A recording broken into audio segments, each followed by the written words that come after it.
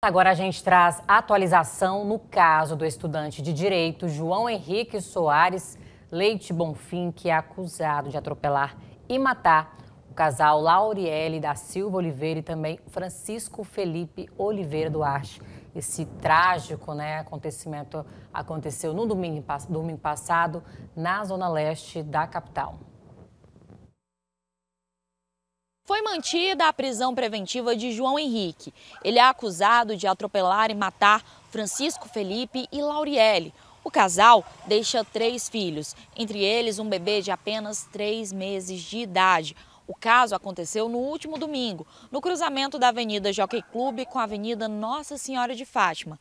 Na ocasião, o rapaz estava sob efeito de álcool e atravessou o sinal vermelho, colidindo com a motocicleta em que os jovens estavam. No pedido da defesa da soltura do estudante de direito, é alegado que ele é responsável pelos cuidados com a sua avó de 91 anos.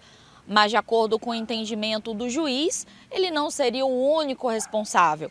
A idosa ficaria também sob os cuidados da tia do rapaz. João Henrique também foi responsável por um outro acidente em 2022. Na ocasião, uma pessoa ficou ferida ele dirigia sem habilitação o carro de uma tia. Por enquanto, essas são as informações. Bruna Leão para a TV Antena 10.